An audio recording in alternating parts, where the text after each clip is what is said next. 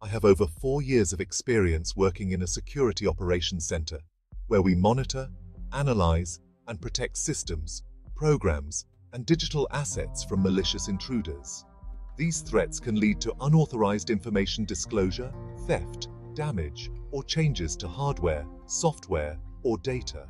We monitor customers' endpoints 24 hours a day, 365 days a year, using our management console, Redmine, and other tools.